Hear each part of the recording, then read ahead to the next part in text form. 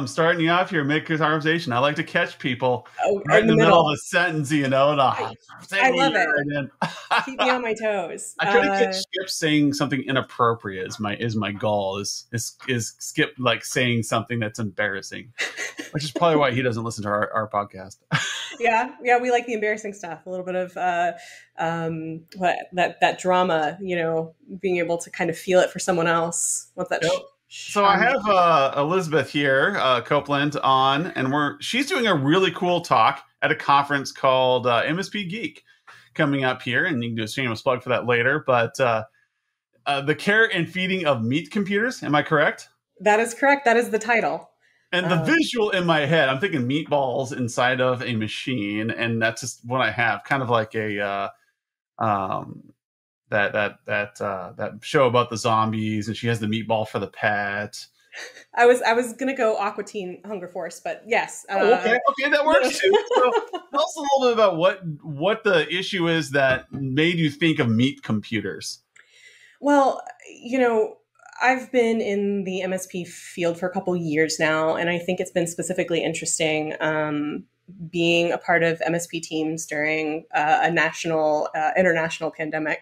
And um, one of the things that I saw on Reddit, on different communities, was the level of burnout that a lot of our people experience because uh, in the end, it doesn't really matter how smart you are in the IT field. You still have to be boots on the ground. You still have to be the one that runs to help solve the problems, to go to Walmart and buy all the webcams when everyone is is swarming and buying toilet paper um, and eggs. You know, like you've got to you've got to go through, and you're the one that's in the server room that when it's flooded um, with hopefully rubber boots on. Uh, but you know, like so so I would look at all these conversations, and you had uh, MSP owner after MSP owner after MSP owner, or tech after tech after tech, who is just like, I am worn thin. Everyone else is working from home. I can't do that. What am I doing to protect myself? What am I doing to take care of myself? And um, uh, at one point, I mentioned in a conversation, so I can't take credit for it, but I was like, You're a meat computer. What is your uptime? Uh, how many times do you talk to someone and you say, Have you turned it off and turned it back on again? And that resolves most of the problems. And so many of our, our peers have been running, running, running, running, running, uh, even from the beginning of the pandemic to now, uh, regardless of how you feel about it. Like you've been going, going, going, being the hero for everyone else. How are you taking care of yourself? And so that kind of expanded into the rest of this conversation. Well, I think self care became a really important thing over the pandemic, and just in IT, we just call it care and feeding of meat computers instead because it's cooler. Uh, It is, yeah. Well, and I, you, you feel selfish on self care. It feels too, you know, frou frou. um next you know this this this fluffy feel like i'm tougher than that i don't need that i i'm i'm a gen xer i can i can take care of myself i don't need a break i'm fine and you Power know through. It's such a big problem that i think episode 49 so i just had to look it up and uh the idea is that burnout is a huge problem in it if you have not experienced burnout it is a rude awakening. Like I remember being burnt out at a job. I was working weekends. I was working on call, and then I'm back up on call. But my main primary on call wasn't answering the phone, so I had two weeks of backup on call for a large enterprise, which just burns you out, and you don't know you're being burnt out. You just become edgier and edgier, and little things start setting you off, and you start making decisions that are not the healthiest. Like, I'm going to reboot this firewall in the middle of the day because it gets the job done. And your inhibitions aren't quite there because your brain is not functioning. You are tired. And I remember We're sitting there listening to a lecture on, oh, they had these monthly lectures uh, from different speakers at my company I was at. And it was about how to identify if you're sleep deprived. Mm. And it's if you close your me- eyes during a boring meeting, will you fall asleep? Hmm. You should be bored. You shouldn't be tired. And that was a big wake up call. Like I could sleep right now. Mm-hmm. If you said, Adam, go take a nap, I could lean back and I'm out. And that's how I was like, and are are you do you find yourself regretting a lot of the things you say? You know, like there was a whole series of like just like Mm. self checks. Like you may not think you're tired. It's kind of like your toddler, or if you have a child, they're running around and like go take a nap. I'm not tired. I'm not. And then they fa- they pass out as soon as they hit that bed. right, right. We're not I, uh, still human beings.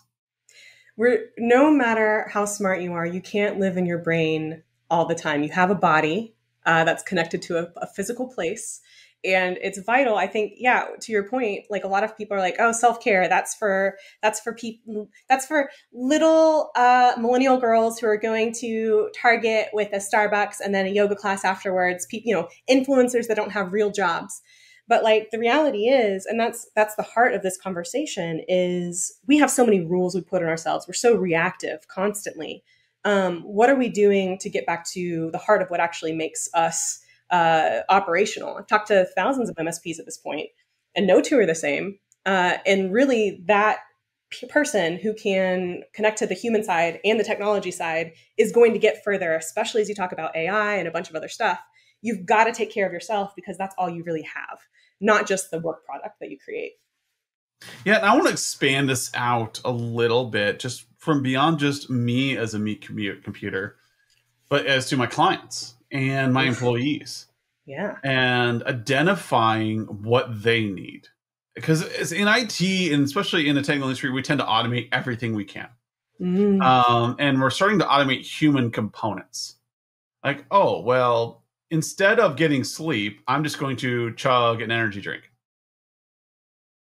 I've just outsource my need for sleep. Uh, instead of talking to my client, I'm going to email them a report mm. of what we're doing. Mm-hmm. Great. Now I don't have to do that. I don't have to actually like, and we see it as care and as the care of our clients, as, as client care. Like if you talk to any salesperson, they're gonna be like, "What are you doing?" Right.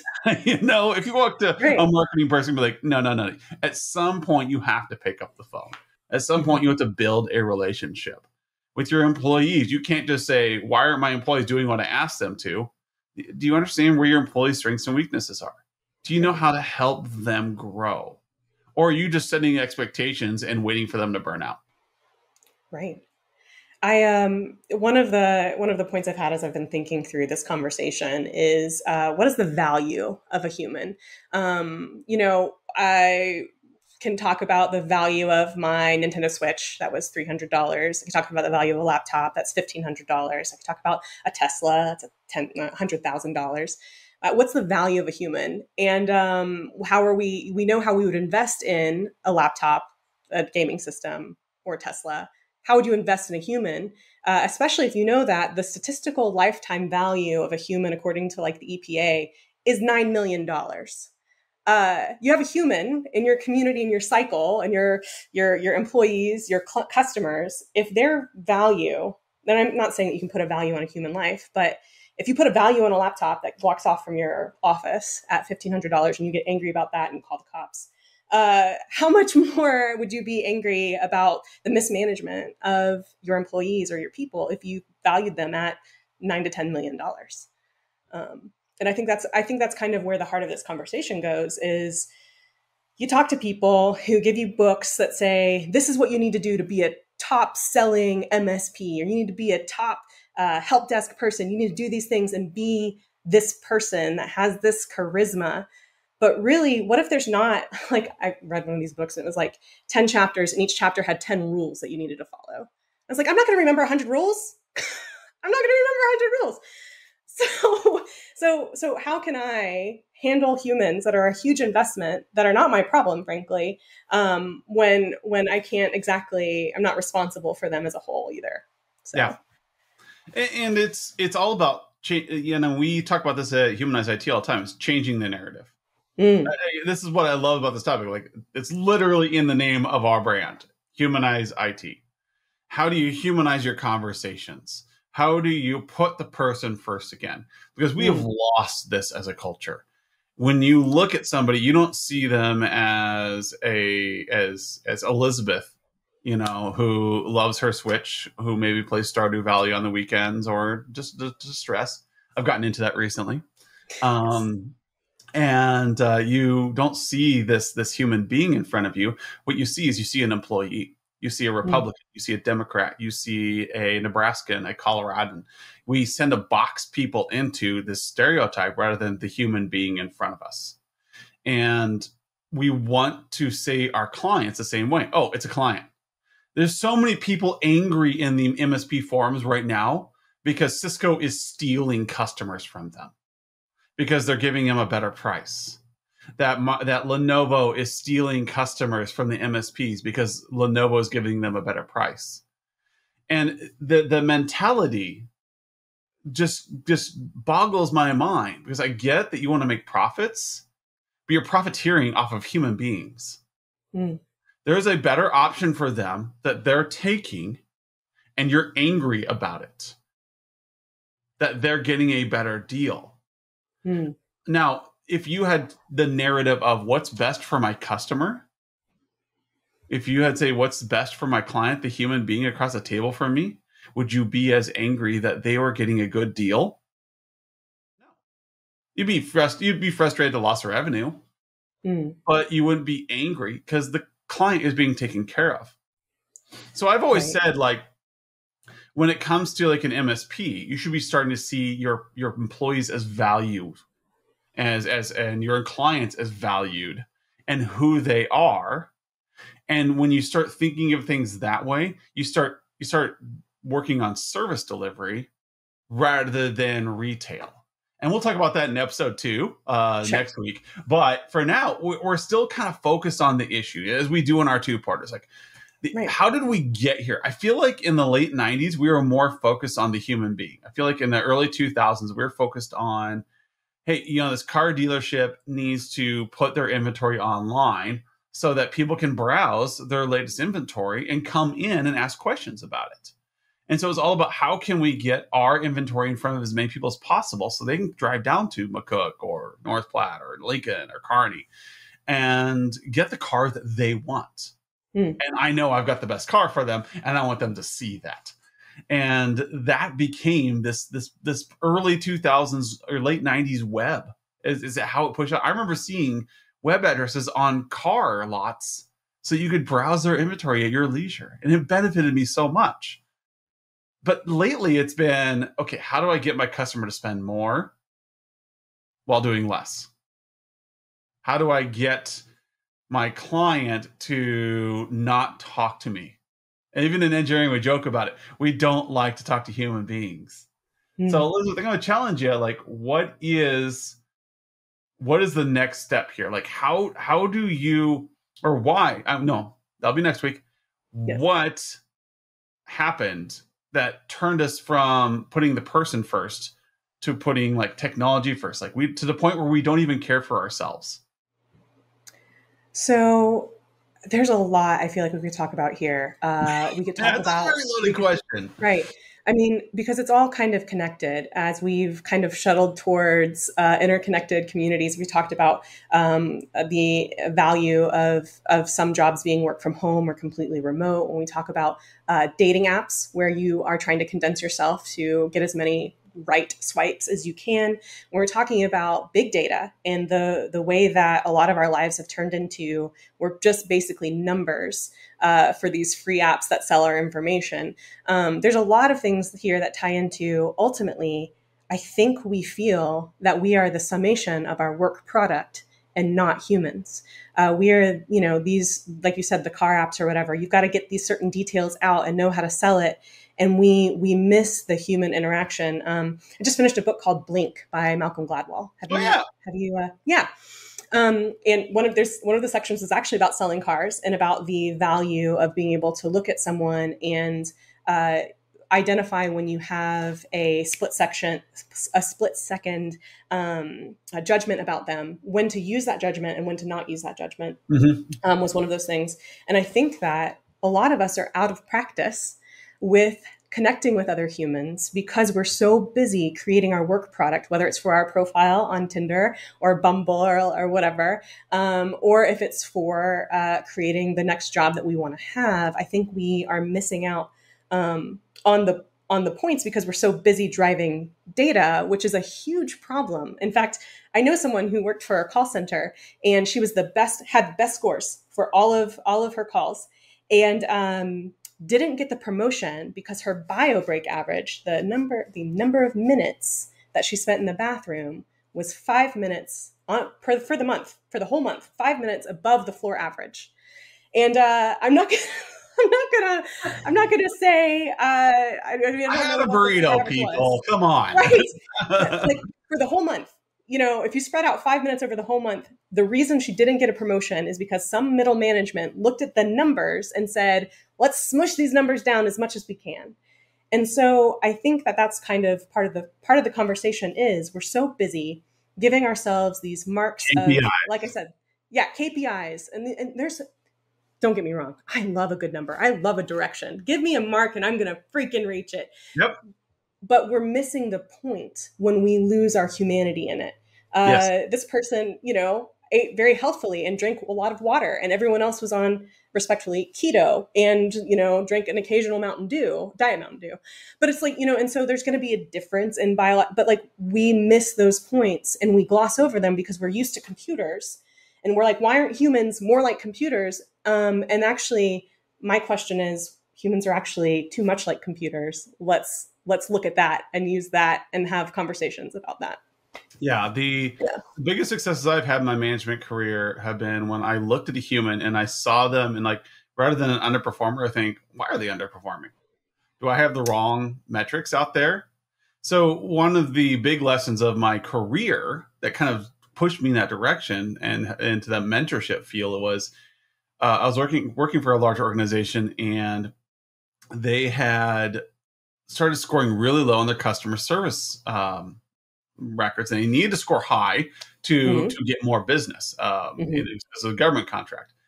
And so what happened was is that they had set their KPIs to where they were trying to make it so that clients had a better uh, experience on the phone, so they were solving problems faster.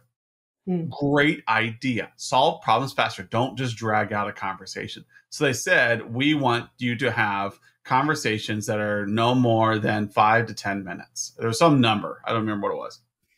So this number filters down from executive management, goes all the way down to the call center. Thousands of people.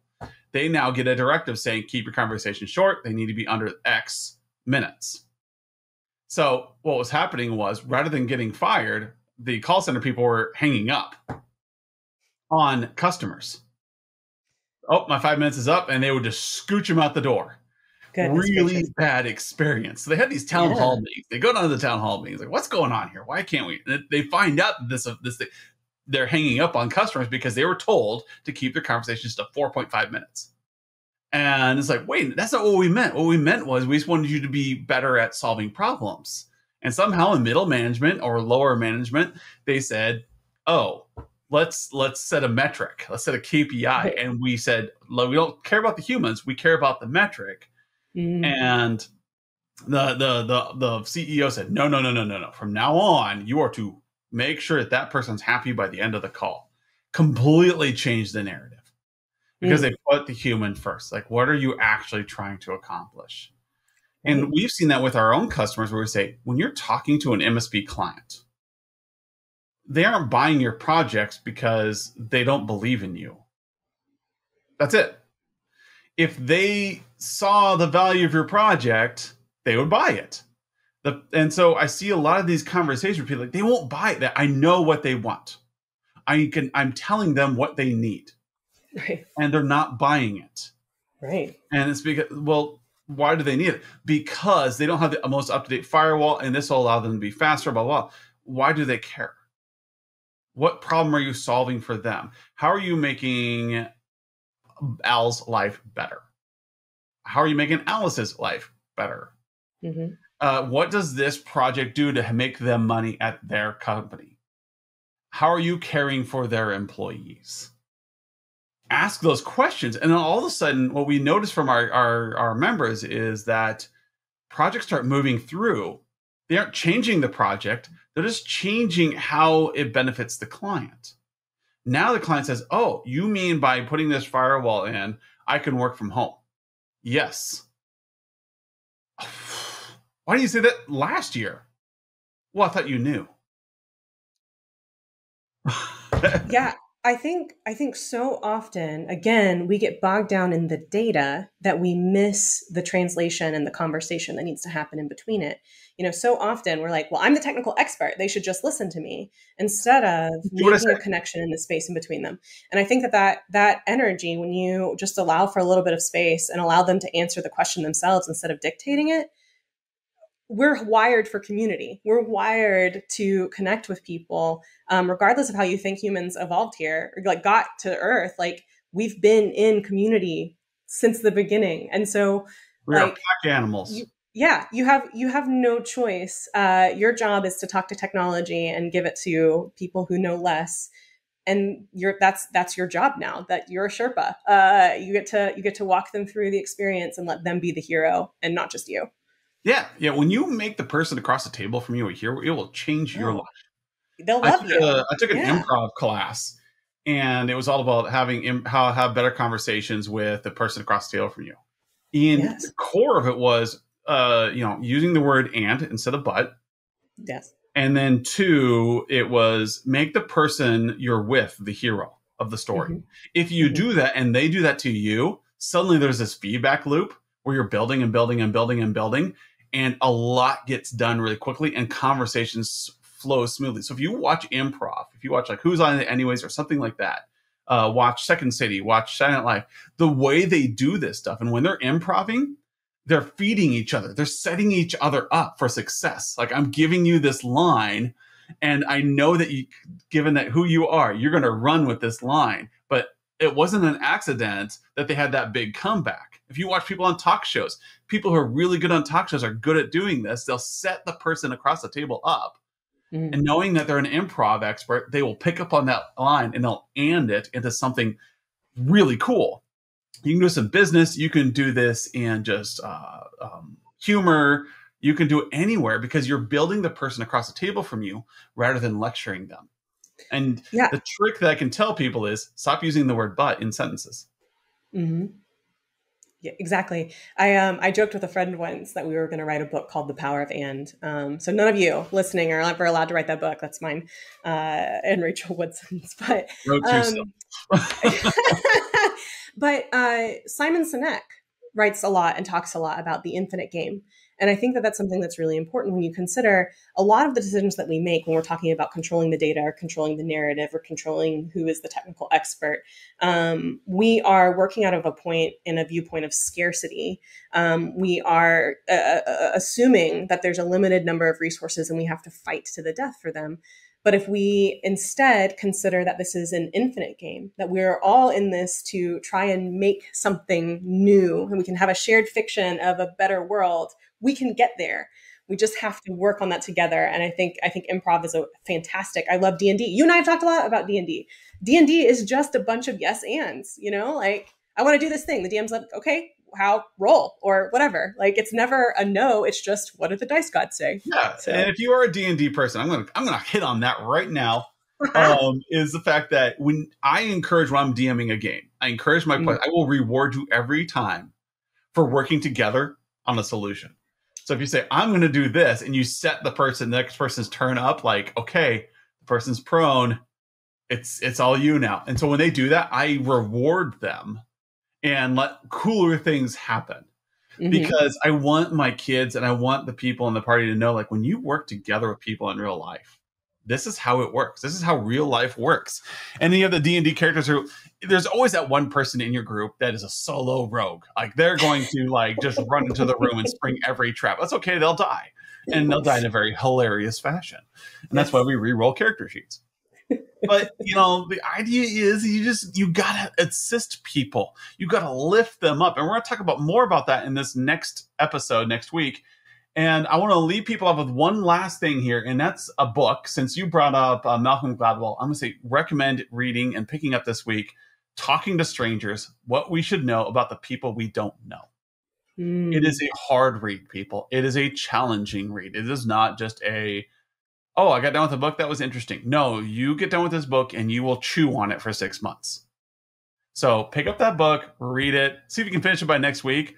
And uh, Elizabeth and I will be back to talk about how do we talk more How do we get over this problem of saying but all the time about just focusing on ourselves and not caring for the human being that's sitting in this chair or across from us? So thanks, Elizabeth, for coming on, and we'll see you next week. See you.